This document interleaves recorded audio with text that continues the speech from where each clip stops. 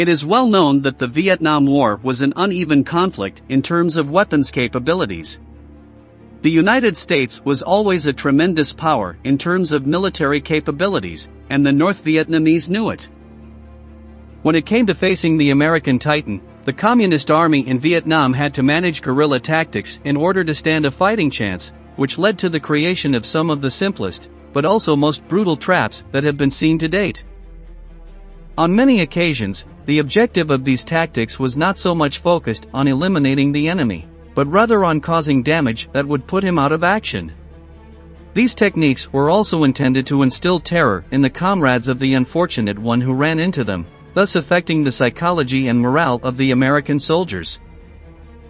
Today in military history, we will list some of the scariest traps used by the Communist Army in the Vietnam War. Let's get started.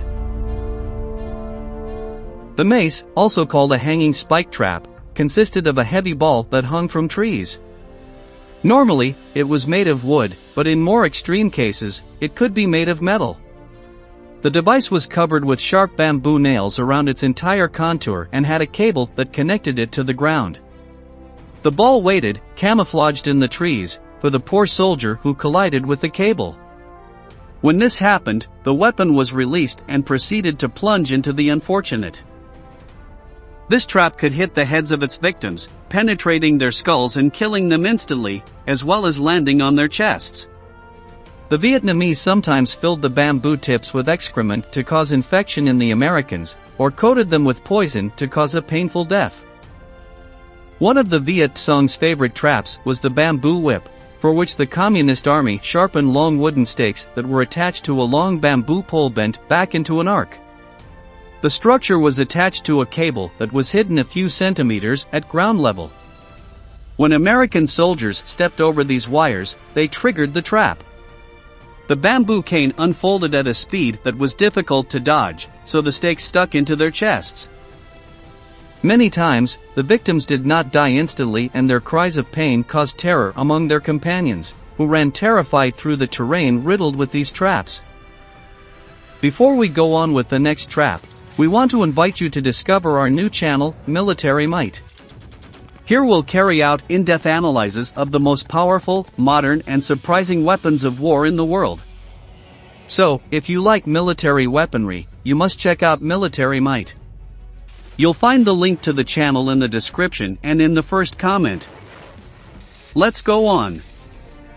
The explosive can differed from the two previous traps since it was not hidden in the air, but on the mainland, often in humid places.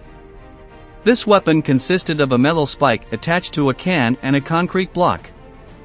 This structure was buried and camouflaged in the undergrowth, so that it was difficult to detect.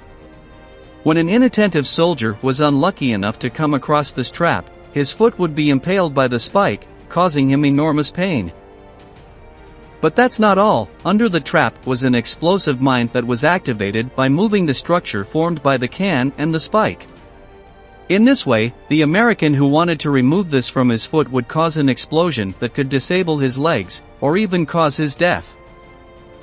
Pinji stakes are considered one of the deadliest traps in the North Vietnamese army. Interestingly, it was not a weapon designed to kill, but to terribly injure and delay Washington's soldiers. This system consisted of small holes dug in places where the American army was known to pass through. Inside the hole was a series of pointed stakes, in some cases made of wood and in others made of metal. When soldiers stepped over this false floor, his foot would sink into the ground, driving the stakes into his flesh. Of course, on some occasions, these holes were larger so that the entire body of the American could enter them.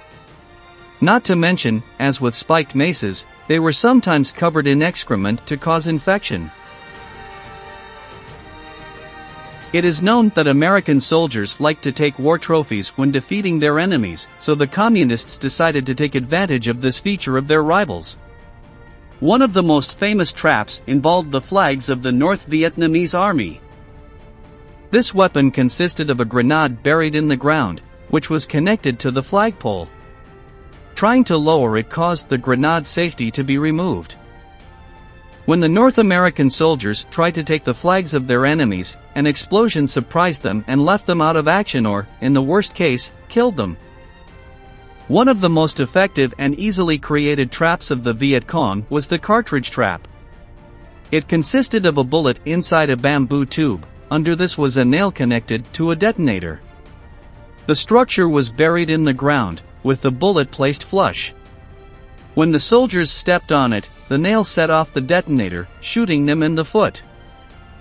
Although this did not cause terminal damage to the Americans, the nightmare came later. While the wounded man's companions tried to help him, the North Vietnamese soldiers ambushed them, causing numerous casualties. Trap bridges were built over streams in order to appear real to American eyes. The Americans believed that these were bridges belonging to the locals, and not some terrible trap that could end their lives. When the soldiers crossed over them, the bridges would collapse causing them to fall into the water. But that's not the worst of it. The North Vietnamese placed pointed bamboo stakes in the water to harm their enemies. As the Americans tried to assist their comrades, Viet Cong soldiers fired from the trees, then hid in the depths of the jungle like ghosts. Finally, we must mention the trap tunnel systems created by the Vietnamese, perhaps one of their greatest feats on a tactical level. Such was the ignorance of the Americans about this underground network that it is even said that they built a base on it. The Viet Cong took advantage of these tunnels not only to steal food and supplies from the Americans, but also used them to carry out surprise attacks. They would come out, shoot, and disappear again without a trace, leaving the Americans totally baffled. As we can see, the ingenuity was one of the main strengths of the North Vietnamese army. By physically, morally, and mentally attacking American soldiers, the Viet Cong managed to emerge victorious from the war. We have reached the end of this account and we want to ask you, which of all these traps do you think is the most effective? Leave us your answer in the comments below and don't forget to subscribe to our channel to learn about many more military events that left their mark on history. Thank you very much for joining us until the end. And stay tuned for our next video.